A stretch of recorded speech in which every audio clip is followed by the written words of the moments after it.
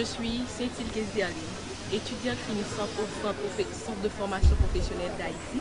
J'étudie la gestion de systèmes informatiques. Certainement, c'était une journée vraiment éducative.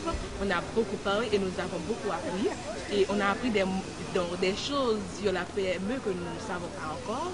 Que à travers cette journée, nous sommes capables, en mesure de créer notre propre entreprise. Bon, dans le but n'est pas de rester à attendre un job dans une entreprise quelconque, mais c'est de se lancer, de créer sa propre entreprise, puisque je pourrais dire que l'entrepreneuriat, c'est l'antidote de la pauvreté. pour moi-même et pour l'avenir du pays, mes aspirations. Je compte me lancer dans l'éducation. Non seulement parce que j'aime l'éducation, et l'éducation c'est la base d'une société, même quand elle n'est pas monnayable, mais l'éducation, c'est le pilier d'une société. Et encore créer une entreprise, parce que l'entreprise, créer une entreprise parce que ça donne du travail de la société, que je pourrais dire, la PME, c'est la base de développement d'une société et la base de la sécurité de notre pays. Je suis Mieux Sozito, je suis je suis bien Zito, je suis étudiant en informatique au Canada Technique, troisième année finissant. J'ai appris c'est la journée, on a appris beaucoup de choses, on a échangé des idées sur dans le domaine de l'entrepreneuriat, on a appris beaucoup de choses et on a appris comment implanter une entreprise en Haïti, quelles sont les difficultés qu'on peut rencontrer et dans le montage d'une entreprise en Haïti, on a appris comment surmonter ces difficultés et les démarches légales qui sont requises et au niveau de, la Chambre du commerce, au niveau de la DGI, etc. Donc on a appris beaucoup de choses aujourd'hui. Bon, normalement, on a appris par exemple que l'entrepreneuriat, c'est un antidote à la pauvreté.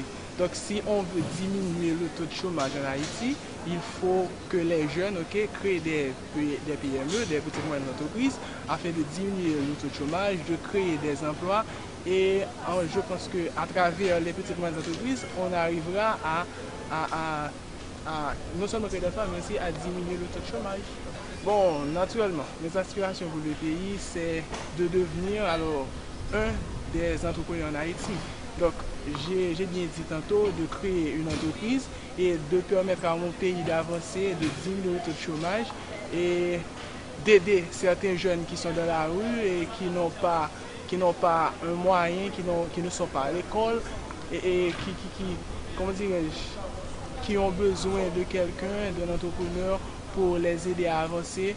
Et pourquoi pas mon pays, comme vous le savez aussi bien que moi, le pays a le taux de chômage donc je ne pense pas que Haïti pourra résister, ce pourra continuer pendant les, 20 prochaines années, les 30 prochaines années. Donc je pense que c'est un problème à résoudre, le chômage en Haïti. Mon nom c'est Régine Jean, je suis à l'Université Kiskeya, étudiante finissant en PME, gestion des petites et moyennes entreprises. Je travaille à l'Haïti Metal SA en tant que chimiste au niveau de l'émaillage. Oh oui, j'avais apprécié, la journée a été vraiment enrichissante, on a partagé les idées, les panélistes ont été, ils super. On a apprécié la journée, c'était très enrichissant.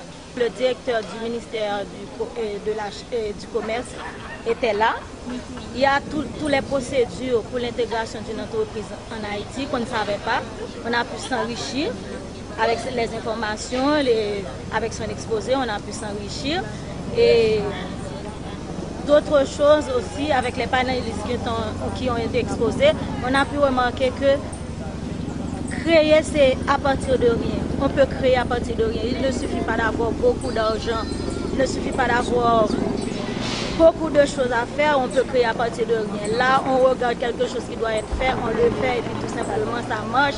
C'est innovant, ça marche. Là, je pourrais dire c'est tout ce que j'ai appris ça a été enrichissant Merci. Et, je remercie la PDT qui a eu l'initiative de faire ce forum. Alors bonsoir, je suis Ralph Dougier, étudiant en sciences administratives, étudiant finissant en sciences administratives à l'Université Kistea.